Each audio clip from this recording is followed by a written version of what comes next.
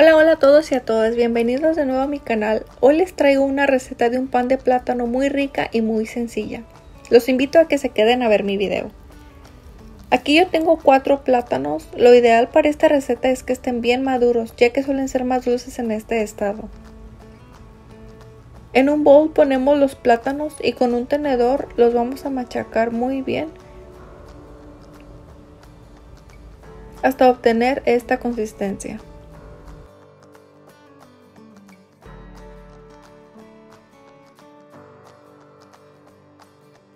Vamos a estar poniendo dos huevos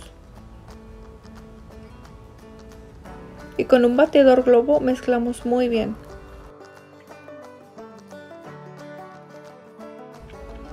Después vamos a estar poniendo la mantequilla derretida, la cucharadita de esencia de vainilla, la taza de azúcar, el bicarbonato de sodio y el polvo para hornear.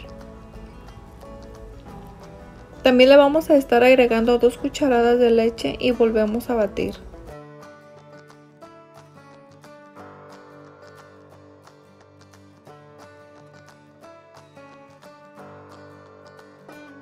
Cuando ya esté bien incorporado, ponemos las dos tazas de harina.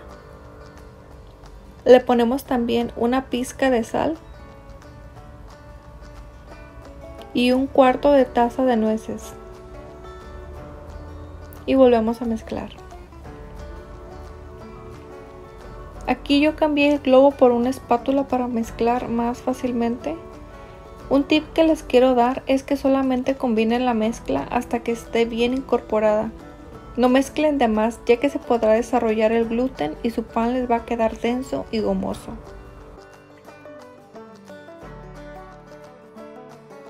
Aquí yo tengo este molde de 9 por 5 pulgadas que vamos a engrasar con mantequilla y lo cubrimos con un poco de harina retirando el exceso para que no se vaya a pegar el pan y vaciamos la mezcla al molde con mucho cuidado.